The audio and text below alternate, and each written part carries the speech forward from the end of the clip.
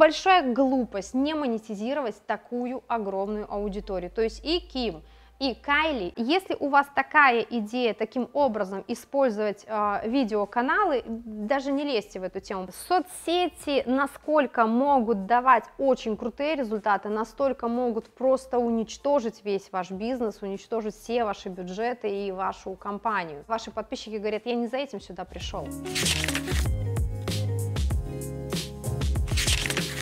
Итак, с вами Юлия Трусова на канале Московской Академии Экономики и Развития. И в этом видео мы поговорим с вами о самых лучших э, инструментах интернет-маркетинга. Мне подготовили несколько разных статей, которые набрали огромную популярность. В этих статьях написаны разные инструменты. Их принято репостить, их принято обсуждать. Считается, что это прям такие супер-супер инструменты, которые должны применять все. И я вам расскажу, почему это полное дерьмо и нет смысла этим заниматься. Мне тут сказали, что я должна напомнить вам досмотреть досмотреть это видео до конца, для того, чтобы вы не спускали ваши деньги на всякую фигню. И приступим. Первое, самое популярное на сегодняшний день э, инструмент интернет-маркетинга, это, конечно же, личный бренд.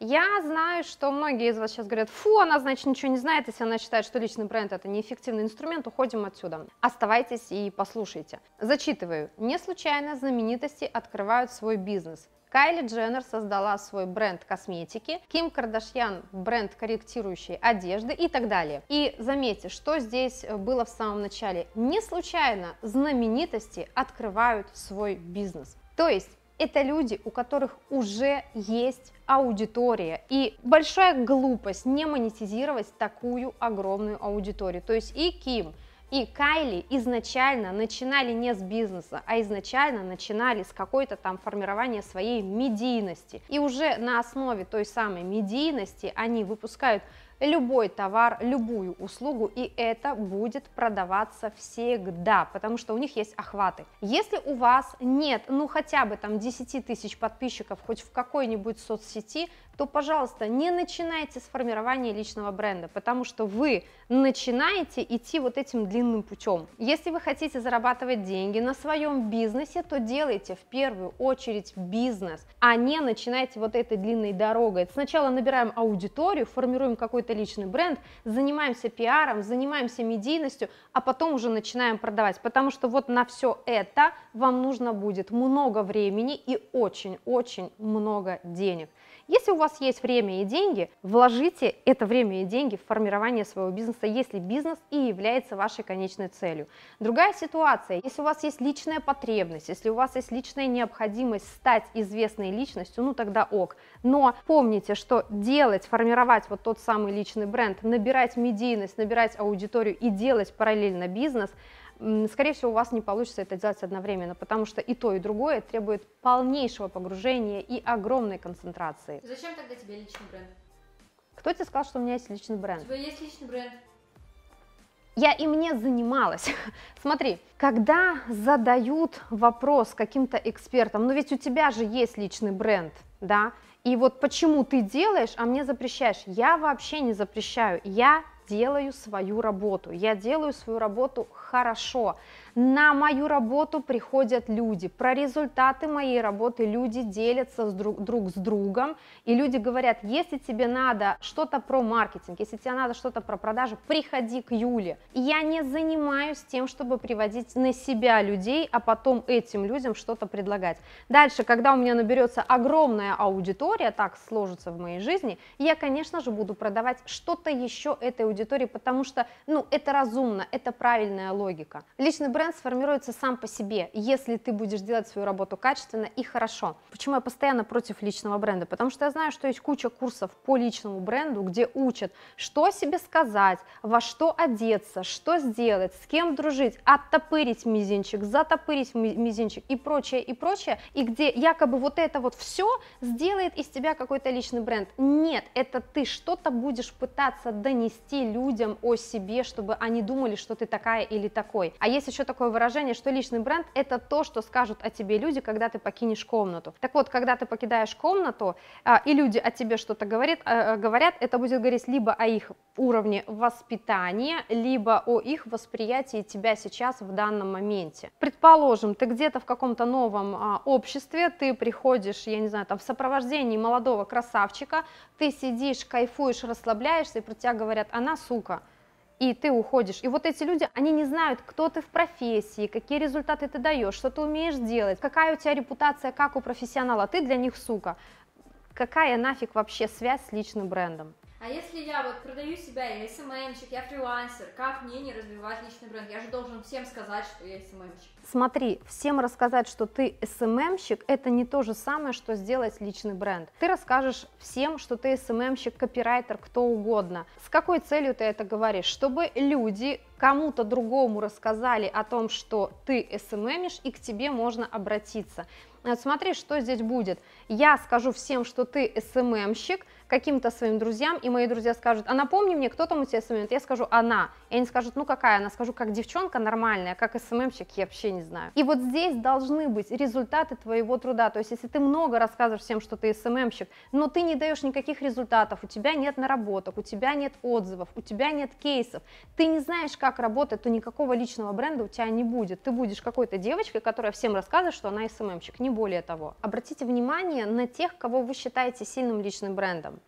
А, и вспомните их путь, если есть такая возможность, э, с самого начала. Чем они на самом деле в самом начале занимались? Они занимались тем, что рассказывали о себе, или они делали свою работу и занимались тем, чтобы о результатах их работы знало как можно больше людей. Это вообще про разное. Для того, чтобы а, приходили клиенты, для того, чтобы зарабатывать, тебе нужно, чтобы много людей об этом говорили. Делай свою работу хорошо и занимайся а, формированием лояльности своей аудитории, чтобы лояльная не обязательно клиентов, а и не клиентов в том числе, говорили, что она классный специалист в этом, потому что я видел ее результаты, потому что я знаю, как она это делает, потому что лучше нее я не знаю больше никого. Поэтому, если вам вдруг захочется развивать себя как личный бренд, то в первую очередь подумайте о том, умеете ли вы делать ту работу, в сфере которой хотите стать каким-то брендом. Сначала учимся делать классно ту работу, которую вы хотите делать, и только потом вот эта медийность, эта популярность к вам придет как побочный результат. Следующий инструмент интернет-маркетинга, о котором пишут везде, всегда и очень много, это таргетированная реклама. И здесь небольшая вырезка из статьи. Таргетированная реклама позволяет найти свою целевую аудиторию среди всех пользователей и продемонстрировать ей рекламу. И вот здесь ключевое, да, это инструмент, который позволяет найти вашу целевую аудиторию. И вот ошибку здесь многие допускают в том, что не прорабатывая целевую аудиторию, критерии выбора, не прорабатывая убедители своей целевой аудитории, запускается реклама и она не срабатывает, либо она срабатывает, но результата не дает. Ну, то есть аудитория приходит, но не регистрируется, не подписывается, не покупает и никогда ничего не делает с этим вашим предложением, хотя деньги они вам уже скликали. Про ошибки в таргетированной рекламе я говорила раньше вот в этом видео, поэтому обязательно переходите, посмотрите это видео для того, чтобы больше не сливать деньги на дурацкую, неработающую таргетированную рекламу. Следующий очень популярный, очень классный инструмент интернет-маркетинга – это использование видеоплощадок. И использование видеоплощадок может быть э, насколько эффективным и настолько полным отстоем. Да, что пишут обычно, да? А, каналы в Ютубе и ТикТоке нужны аудитории, которая хочет узнать что-то полезное и одновременно интересное в очень короткий промежуток. Поэтому нам говорят, снимайте короткие видосики, отвечайте на какие-то боли нашей целевой аудитории, и они к вам пойдут. И до съемки этого видео я задавала вопросы, а что же делать в маникюрной студии? И мне рассказывают, что, ну, например, можно снимать там 7 убийц ногтевой пластины в зимний период. И вот я говорю, а что дальше? Ну, дальше придет аудитория, они посмотрят ваши видео, видео, и вы им скажете, и приходите к нам делать там что-то с ногтевой пластиной, они к вам придут. И вот здесь такой а, вопрос, а можем ли мы остановить как-то раскрутку нашего видео по локальной аудитории, ведь салон красоты или маникюрная студия, они находятся где-то в какой-то локации, и понятно, что из Петербурга в Москву вряд ли полетят чинить свою ногтевую пластину, ну это ненормально, да, а если тем более речь идет о каком-то там районном городке, видео будет раскручиваться по всему миру, его будет смотреть весь мир, его даже будут, возможно, репостить, то есть вы получите какие-то охваты, получите ли вы клиентов, в ваш салон из-за этого видео. И вот здесь можно сидеть и надеяться, вот этот любимый маркетинг надежд, мы что-то делаем и надеемся, что они к нам придут. Он очень часто убивает бюджеты, убивает веру, убивает силы, убивает настроение вообще любое к работе. Поэтому, если у вас такая идея таким образом использовать э, видеоканалы, даже не лезьте в эту тему, потому что вы будете тратить деньги на производство классного, крутого, красивого контента, который люди будут вирусить, репостить, и вы с этого больше ничего не будете получать. Ну, я не знаю, что там, будет нравиться, что у вас есть какие-то подписчики, вас лайкают. Видеоплощадки можно использовать для локального бизнеса, если вы эти видеоплощадки правильно встроите в маршрут движения вашего клиента. То есть, что обычно предлагается? Снимать видео для того, чтобы увеличить охват, и среди вот этого вот огромного охвата надергать себе хотя бы парочку человек. На самом деле, я бы работала не так. Для начала вы таргетом или работой в соцсетях, вы приводите конкретную локальную аудиторию, аудиторию к себе на сайт, либо к себе на какую-то из соцсетей. Дальше заинтересованные люди, они обращаются к вам за конкретно какой-то услугой, не знаю, товаром и так далее. И вот этими конкретными болевыми видео вы дожимаете своего клиента, вы показываете, что вот эта услуга у нас делается вот так при помощи таких инструментов и материалов, вот эта услуга дает вот такие результаты, а вот наши отзывы, а вот как это бывает в плохих местах. И тогда ваше видео будет работать то есть вы не на привлечение трафика его включили, а на дожим трафика. То есть любой интернет-инструмент может быть офигенным и может быть э, просто полным дерьмом, в зависимости от того, как вы его встроите в цепочку движения вашего клиента, в сценарий выбора, в сценарий покупки. Если вам кажется, что я в чем-то ошибаюсь, я где-то не права и вам хочется со мной поспорить, пожалуйста, пишите ваши комментарии под этим видео, я с удовольствием вас почитаю и может быть, поспорю.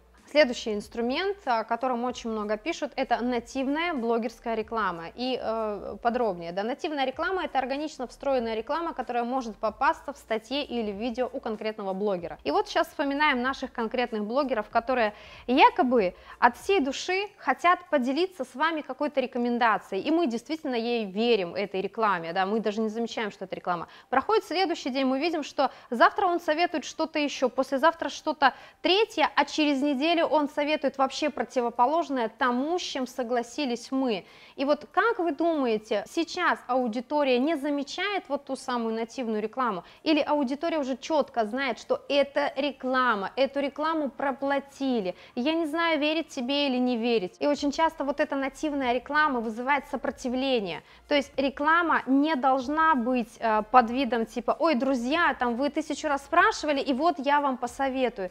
Пускай ваш блогер, у которого вы покупаете рекламу, скажет, что это реклама, и это будет профессионально, классно, чисто выстроенная реклама, а, по которой люди перейдут. Вот и хочется добавить, что аудитория у блогеров не такая наивная, как в 2014 году, когда вот что бы блогер не посоветовал, все толпой туда шли и все это скупали. На сегодняшний день абсолютно все подписчики любых каналов и любых блогеров понимают, что реклама это хлеб блогера, это основной заработок, что блогер генерит эти тонны контента не потому, что ему в кайф, а потому что это и есть его работа генерить этот контент, и он с чего-то зарабатывает деньги, зарабатывает он с рекламы. Поэтому, если все-таки вы думаете, что в вашем случае лучше сработает нативная реклама, выбирайте блогера, который не бомбит рекламу каждый день или каждую неделю, выбирайте блогера, который не делает рекламу, она будет дорогой, но она реально выстрелит. Либо блогера, который делает очень редко, там раз в месяц, два раза в месяц э, рекламу, и следите, что было до этого, не рекомендовал ли он что-то противоположное вашему предложению. И про блогерскую рекламу, как подробно ее закупать, как отслеживать эффективность, как правильно выбрать блогера, я уже снимала видео, поэтому я вам советую подписаться на этот канал, включить уведомления, потому что здесь очень много уже записанного материала, и я буду еще записывать тонны-тонны материалов. Это еще не все. Следующее, что бы вы думали, это, конечно же, SMM, маркетинг в социальных сетях. И вот что мы здесь э, видим? Соцсети давно уже стали рекламным инструментом. Если раньше наши соцсети нужны были для того, чтобы общаться с друзьями и родственниками, делиться с фотами друзьями, то сейчас соцсети это место, где продавец может найти своего покупателя и наоборот, да, и там примеры, да, приводятся разные, что компания может прийти в инсту, раскручивать свой аккаунт, набирать подписчиков и что-то этим подписчикам продавать. Соцсети насколько могут давать очень крутые результаты, настолько могут просто просто уничтожить весь ваш бизнес, уничтожить все ваши бюджеты и вашу компанию. Особенно если у вас товар или у вас какой-то локальный бизнес, ну типа там салон красоты, и вы ведете свой а, Инстаграм или свой там ВКонтакт, YouTube просто для того, чтобы набирать подписчиков, а потом эти подписчики как-то будут покупать, то вы попадете в такую очень частую ловушку. Подписчики есть, охваты есть, люди комментируют, люди лайкают, а покупок, продаж нет или они а, крайне мизерные чем здесь будет ошибка? Ведь э, это две разные цели. Набрать подписчиков и продавать. Две очень часто слабо пересекающиеся цели. Набираем мы подписчиков при помощи генерации какого-то интересного, любопытного контента. Продаем мы при помощи продающих постов. То есть мы описываем товар и говорим «купи». Когда мы набираем подписчиков на интересный контент, это к нам приходят потенциальные читатели. И не каждый СММщик, не каждый маркетолог может читателя перевести в категорию категорию покупателя. Что получается? Приходят подписчики, вы потратили очень много времени, сил и денег на то, чтобы привлечь этих подписчиков, и потом, когда вы говорите, это можно у нас купить, у вас начинаются отписки, потому что ваши подписчики говорят, я не за этим сюда пришел, я пришел сюда читать, мне здесь давали классный, интересный контент, почему вы начинаете, что вы меня вводите в заблуждение. И это самая такая мягкая форма, что можно услышать э, в ответ на продающий э, пост. Поэтому, как правильно делать? На самом деле нужно изначально, если ваша цель продавать через Инстаграм, если ваша цель находить клиентов, то вести нужно не на привлечение подписчиков, которых вы потом как-то будете убеждать купить, а вы изначально приводите людей, которые уже ищут вашу услугу или ваш товар и продаете вначале им, и только потом, когда вы понимаете, что вы уже условно выгребли весь рынок а, готового спроса, вы только тогда начинаете заходить в рынок, где спрос только формируется или еще не сформирован, и это вообще другие инструменты, это не про то, как набрать себе сотни тысяч подписчиков. Учитывая, что вот подобные статьи бесконечно репостятся, рекомендуются, рассылаются друг другу в личке, люди хотят понимать, что на самом деле работает, какие маркетинговые инструменты будут применимы в этом году, в следующем и так далее, и так далее. Эти статьи не ответят на ваш вопрос, потому что там нет конкретики, потому что это устаревшая информация, неактуальная и недостоверная. И для того, чтобы узнать, что сейчас реально в тренде в интернет-маркетинге, переходите по ссылке в описании под этим видео и скачайте гайд актуальных инструментов в 2022 году. И последний на сегодня инструмент, который все всем рекомендуют и говорят, что это чудо чудное – это контекстная реклама. Контекстная реклама – это та реклама, которая появляется у вас, когда вы забиваете какой-то запрос э, в Гугле или в Яндексе. Контекстная реклама, конечно же, э, всегда работала, работает и будет работать, если ее тоже правильно встроить. Если вы понимаете, что те ключевики, по которым вы закупаете рекламу, работают на продажу вашего товара или вашей услуги, то, конечно же, ее нужно запускать. Нет такого, что это лес вообще туда не надо лезть, если не знаешь? Ну, это не просто, потому что отслеживать эффективность э, э, сложнее, э, найти свои ключевики сложнее, она практически непрогнозируемо может вырасти в цене ты можешь зайти, то есть для того, чтобы работать с контекстом, либо тебе нужно изучить контекст, либо тебе нужно брать хорошего контекстолога, но даже когда ты берешь хорошего контекстолога, ты все равно должна разбираться в контексте, потому что, ну вот смотри, какая очень часто ошибка, а, бывает неправильно заполнен description, и ты вроде как и клики получаешь, но ты не получаешь целевого клиента. Нужно четко понимать, следить не только за тем, как внутри выстраивается реклама, а и что видит клиент. Вот э, в таргете это очевидно, а в контексте это не очевидно. Почему я отнесла это к фиговым рекомендациям? Потому что понятно, что люди, которые гуглят и ищут информацию о том, что работает в этом году а, в интернет-маркетинге, скорее всего, это либо новички, либо те, кто не новички, но только пытаются там, я не знаю, добавлять какие-то инструменты. И вот когда ты видишь вот эту рекомендацию, что контекст это очень классный инструмент, берите, делайте, потому что все так делают, многие заходят в этот инструмент и скликивают огромные деньги деньги, потом говорят, да ну это полная фигня, оно не работает. Это не фигня, контекст прекрасно работает, если контекст настраивал профессионал, а не дилетант. Поэтому, если вы не изучали контекст, не надо туда заглядывать. Сначала изучите контекстную рекламу, и только потом вы сможете уже заходить и делать какие-то выводы. Причем желательно, чтобы вы настраивали и получали от кого-то обратную связь, э, так ли ты работаешь, да, чтобы вы видели на практике все свои ошибки. И даже иногда нанимать контекстолога не имеет никакого смысла, потому что для того, чтобы контекстолог хорошо работал, вы ему должны поставить правильное ТЗ. Когда вы не знаете, что должно быть в ТЗ для контекстолога, он будет настраивать, э, опираясь на какой-то свой предыдущий опыт. Насколько он встраивается в ваш бизнес, вы даже не будете понимать и представлять точно так же, как и он. И вы сначала убьете кучу денег, и только потом узнаете, что, блин, мы что-то делали не так. Если для тебя контекст это единственное э, солнце в окошке, да, свет в окошке, и ты рассчитываешь, что наконец-то я за... вот же, вот же оно, есть классный инструмент, и контекст приведет мне наконец-то клиентов, и я, блин, наконец-то заработаю бабки, и ты берешь свои последние, единственные бабки, вкладываешь в э, рекламу, пожалуйста, не делай этого, потому что контекст запускается не на последние деньги. Контекст – это инструмент, который ты дополнительно вводишь, когда у тебя уже что-то хорошо работает работает. И у меня для вас а, один большой совет. Если вы ищете актуальную, достоверную информацию в сфере маркетинга, подпишитесь на этот канал, потому что на этом канале мы не собираем статьи из интернета и не переговариваем то, что принято говорить. На этом канале мы говорим а, правду о маркетинге, основанную на цифрах, на исследованиях и на практических навыках. А на этом у меня все. С вами была Юлия Трус. До новых встреч. Пока-пока.